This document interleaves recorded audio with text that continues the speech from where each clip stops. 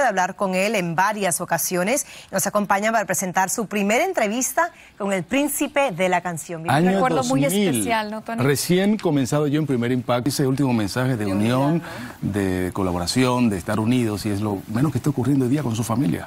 Lamentablemente, pero como mencionas, Tony, eh, memorias imborrables, ¿no? Recuerdos imborrables y bueno, ese mensaje de unidad que se quede en nuestro corazón. Y hablando de unión, él seguramente ya está abrazando a su madre después de ver estas imágenes tan impresionantes. Muchas gracias. Gracias, Tony.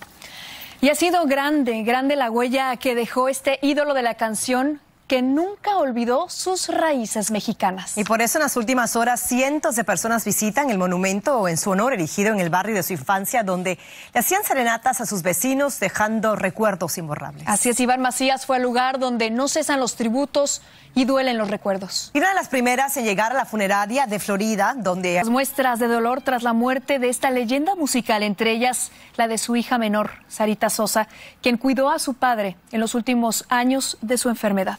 Se une ahora nuestra colega Colina Rosario, quien obtuvo las primeras declaraciones de la joven de 25 años de edad que enfrenta una dura realidad. ¿No es así, Carolina? Cuéntanos. Así es, Pamela Michelle. Muy buenas tardes. Les cuento. Muchas gracias, Carolina. Más adelante. Gracias. Regresamos con mucho más, ese tributo al príncipe de la canción aquí en Primer Impacto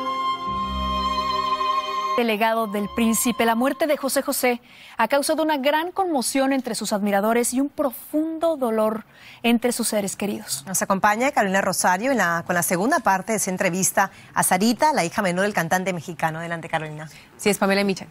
Muchas gracias, Carolina. Gracias.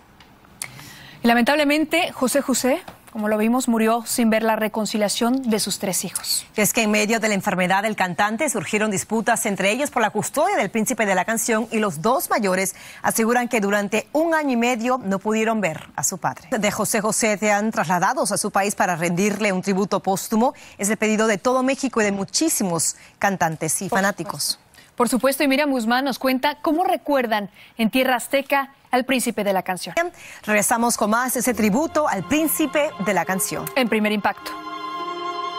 Damos también las gracias por su humildad, por su talento, por su integra y también porque sin su voz y sus románticas canciones, la banda sonora de toda una generación no hubiera sido la misma, México no hubiera sido el mismo. Así es, y toda Latinoamérica también, y aunque ya no está con nosotros, el legado del príncipe de la canción es sin duda inmortal. Efectivamente, y los dejamos con imágenes de nuestro especial tributo a ese gran artista mexicano que ha dejado una huella imborrable en la canción